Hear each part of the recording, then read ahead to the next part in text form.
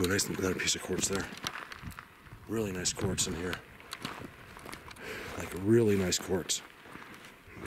I get, am I getting wrong? Did you guys see that? Oh my god. Thank you. You thank people. It's weird you thank someone for throwing a rock at you, but you do. I just had a rock. I think it broke into pieces. I saw it shatter. Hopefully that's on the camera because I, I can't, I'm not going to tell anybody.